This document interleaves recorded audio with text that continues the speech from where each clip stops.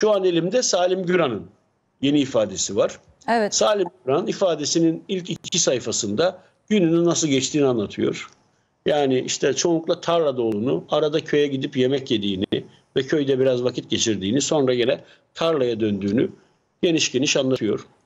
Ee, ve e, ona önce e, tabii hemen döneyim o, o şeyle ilgili e, bu Atasoy'la yaptığı, Ramazan Atasoy'la yaptığı yazışmanın e, sorulduğu bölümü Evet. e, e, efendime söyleyeyim, sorulduğu bölümü kendi, kendi sorulduğu bölümü okuyayım ve ona dair Ramazan Atasoy'un e, Ramazan Atasoy'un Ramazan, At- Ramazan Atasoy ile arasında nasıl bir e, diyalog geçtiğini kendi çerçevesinden anlattığı bölümü size okuyayım istiyorum. Tabii bu arada 6 sayfalık bir ifade var elimizde. Dolayısıyla e, biraz bulmakta zorlanabilirim. Evet. Diyorlar ki bu şimdi bu mesajlaşma 18.38'de olmuş.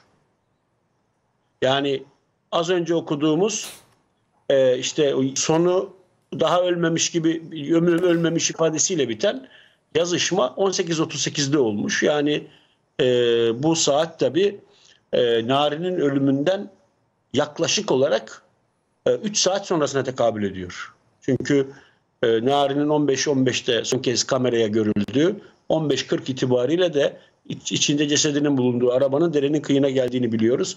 Dolayısıyla 15-15 ile 15-35 15-40 arasında e, ölümün meydana geldiğine dair bir elimizde bilgi var. Bu mesajlaşma 18.38 saatini taşıyor. Soru tam olarak şöyle.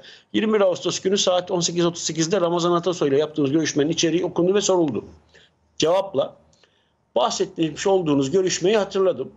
Bu bahse konu Mısır arazisinin sulamasını yaparken kullandığım trafon elektriğini bazen kaçak yapmak için bir alet kullanıyordum. Olay günü o aleti Ramazan Atasoy'a bırakmış olduğum taş dibinden alması için aradım. Görüşme içeriği bununla alakalıdır. Narin'in ölümüyle ilgisi yoktur. Bir daha söyler misiniz bu kısmını İsmail Saymaz? bu görüşmeyi hatırladım. Bahse konu bu ben bahse konu Mısır arazisi sulamasını yaparken kullandığım trafonun elektriğini bazen kaçak yapmak için bir alet kullanıyordum. Yani kaçak elektrik kullanıyormuş. Bir herhalde tel atıyor, bir şey atıyor. Olay günü de o aleti Ramazan Atasoy'a bırakmış olduğum taş dibinden alması için aradım.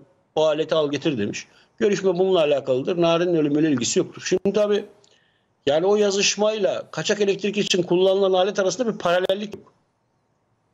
Ee, yani ya o konuşma ya bu, ya bu ko- konuşma başka bir meseleyi kastediyor ya da ya çeviri hatası var ama yani Türkiye'de de yani Kürtçe bir metni Türkçe'ye çevirmek için öyle büyük bir ihtisas uzmanlık gerekli Ibuhça gibi bir dil değil ki tek kişiye e, kalmış olsun yani.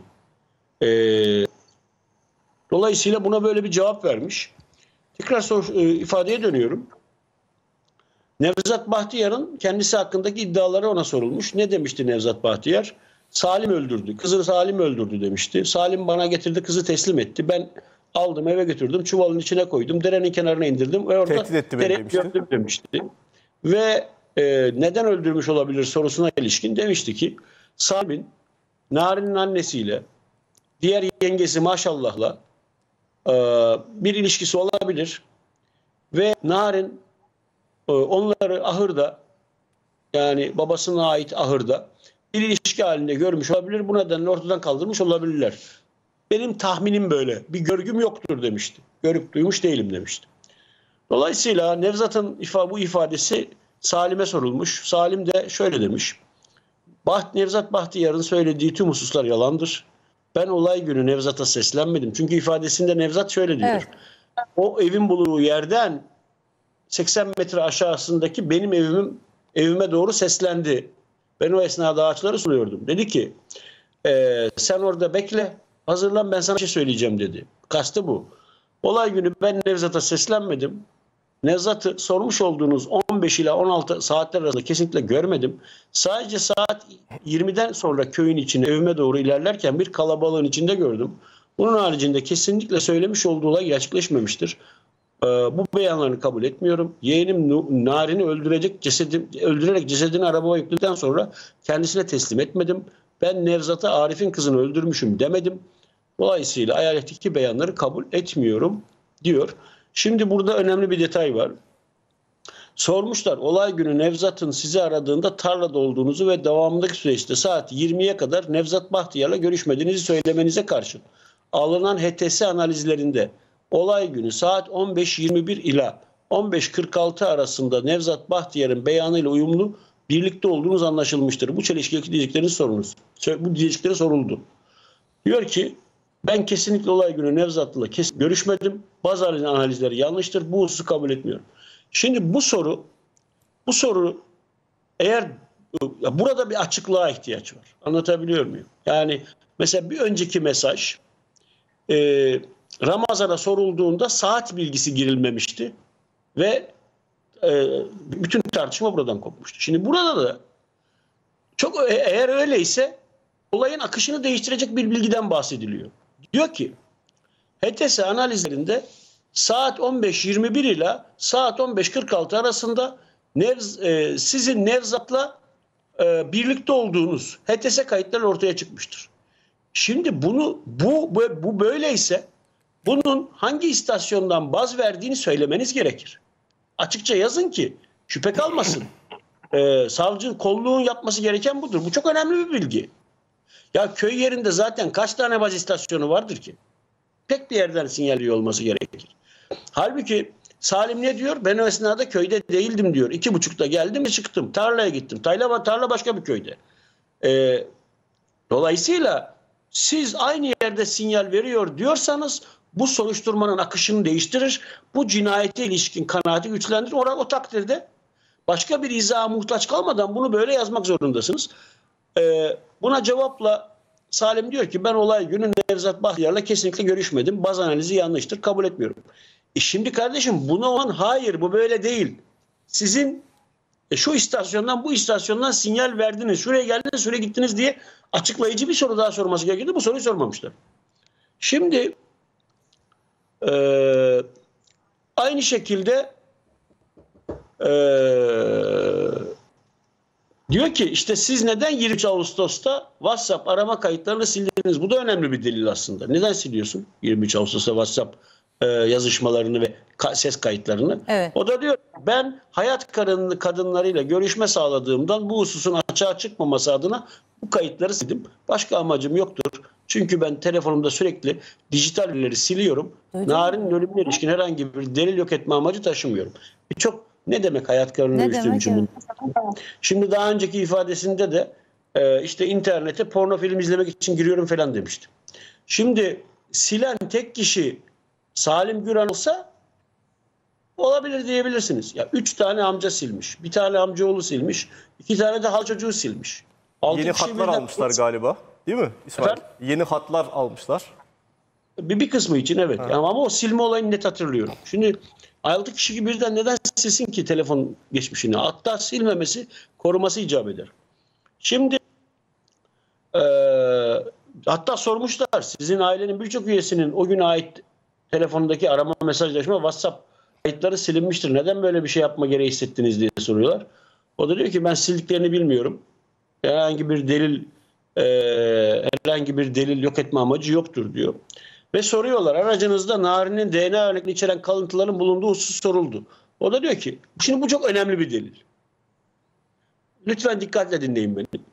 Araç benim adıma değildir. Kardeşim Fuat'a aittir. Ee, araç benim aracım e, kazalı olduğundan ben bu aracı kullanmaktayım. Aracın kapıları ve camları sürekli açıktır. Çocuklar sürekli arabaya binerler diyor. Devamında diyorlar ki e, özür dilerim.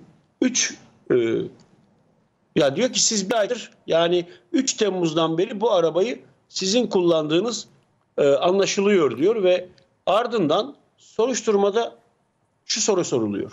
Yine soruşturma dosyası içeriğine giren son raporda sizin aracın sağ arka kapısının iç kısmında bakın sağ arka kapısının iç kısmında Narin Güran'a ait DNA profili bulunmuştur. Bu hususta diyecekleri soruldu.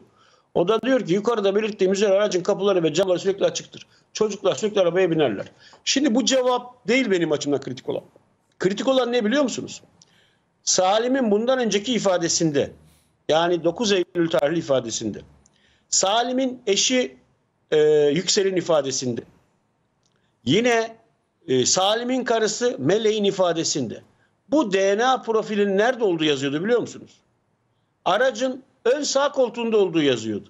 Şimdi Salim'in ikinci ifadesinde sağ arka koltuğa geçti. Kardeşim böyle ciddiyetsizlik olur mu? Bu DNA gezip duruyor mu? DNA nerede duruyor? Sağ ön koltukta olmasıyla sağ arka koltukta olmasının başka başka anlamları var. Çünkü daha önce bu şeye Salim Güran'a bu Salim'in karısı Yüksel'e sorulduğunda yani soruda soruda var bu arada yani çıkarıp gösterebilirim ben çünkü kontrol ettim. Soruda sağ ön koltuk demiş. Sağ ön koltukta Nari'nin DNA'sı var diye soruldu. Onlar da şu yanıtı vermişler. Demişler ki biz bundan bir ay önce yeğenimizin nişanı için efendim köyden bir yere gittik. Nar, e, önde hediye oturuyordu ön koltukta. Arabayı devran kullanıyordu. Arka koltukta ise çocuklar vardı. E, Narin ise arkada oturuyordu.